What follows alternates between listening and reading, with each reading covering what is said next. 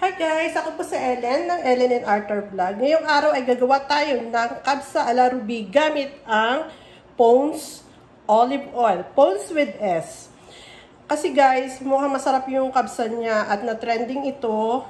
Ngayon, gagayahin natin kung talaga nga masarap ang kabsa ala ruby. Um, si Ruby guys ay isang OFW dito sa Riyadh. Hindi ko alam kung saan dito. Basta parang Saudi siya.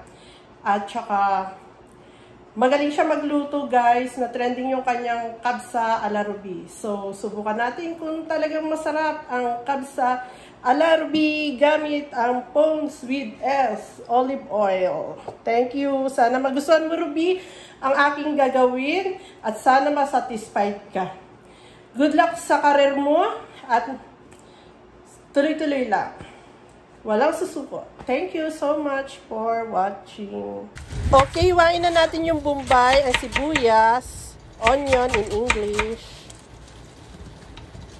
Then, magpakulo na tayo ng mantika. Ilagay na natin yung ating onion. Yan ang ating uunahin. Tapos, hantayin lang natin yung ma-fry. Meron tayong blender. Naglagay ako ng konting tubig para pag nag-blender tayo ay hindi siya mahihirapang umikot. Yan ang green pepper. Ayan, hiwain lang natin ng konti yan. Tapos, mayroon din akong ginger. Ang ginger ko ay binalatan ko at inilagay ko din doon sa blender. Mayroon din akong bawang, apat na globes yan. Tsaka ang ating kamatis ay dalawang kamatis ang ginamit ko. Inilagay ko rin dun sa blender. At kabsa, kabsa spices. Puro na yan, ano, buo na yan lahat. Marami, kumpleto na siya. Inaglagay rin ako ng, eh, may celery na rin yan. At yung sibuyas comprinito at tomato paste. Hayan, hinalo ko yan kasi para hindi mahirapan yung ating blender. So, para mayroon siyang space. O, ngayon, gumamit ako ng Pond's with S olives oil. Haha. Ayan. Pinainit ko na ang kawali. Naglagay na ako ng konti. Ayan yung aking manok. Nilagyan ko na ng ano, pampalasang asin. Tapos, ayan. I-fry-fry ko yan dyan sa kawali ng slightly brown lang. Hindi yung brown na brown. Kunti-kunti lang yung medyo ma-fry-fry lang ba siya. Ayan. Inikot-ikot ko yan para yung kabilaan ay meron din siyang brown-brown. Yan. Para masarap ang ating manok malasa. Nilagyan ko rin yan ng asin. Okay, pag brown-brown na ay pwede na yan.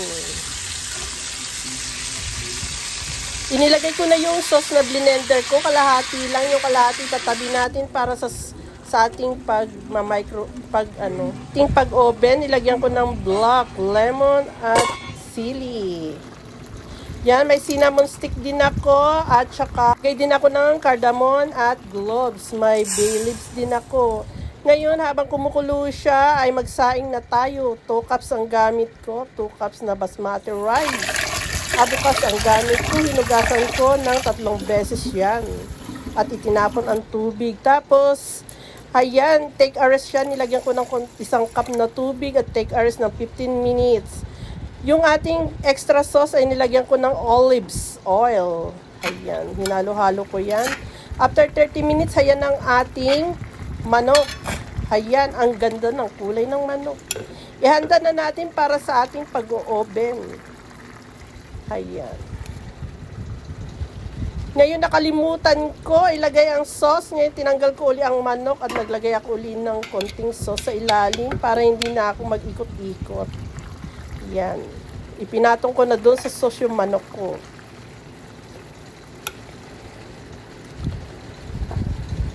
Tapos may extra sauce pa ako, nilagan ko sa ibabaw ng ating manok para malasang malasa at tutuhanan na ito.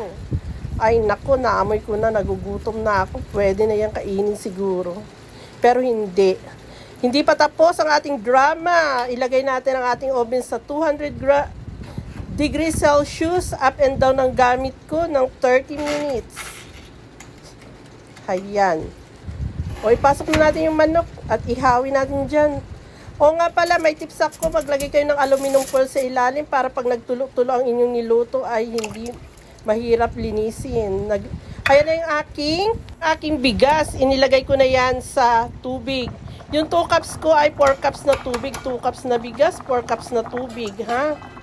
O, isinama ko na yung sabaw ng manok dyan para malasang malasa. Tinakpan ko nga pala ng aluminum foil para yung tulo-tulo ay hindi tumulo doon sa bigas at hindi labsak ang ating bigas. After 30 minutes, hayan ang ating manok. Hayan. Ang ganda ng kulay at ang ating bigas ay yummy yummy. Ating kanin. O sige na, mag-plating na tayo. Ayan. Mag-plating na ako dun sa aking mahiwagang ah, ano ba yan? Anong tawag dyan? Palayok, sabi ng aking jowa. Palayok daw ang tawag dyan. O sige na, mag-plating na tayo sa napakasarap nating kanin at masarap na manok. Totoo ngang masarap ang kabsa ala ruby. Maraming maraming salamat sa iyo. At na mayroon naman kaming natutunan galing sa iyo. Thank you, thank you. At kung nagustuhan ang aking video, paki-follow, subscribe sa YouTube. Hit the notification bell button para updated kayo sa aking mga video. God bless you all. Mua, mua. Mabuhay tayong lahat. Thank you. Walang susukuan. Thanks.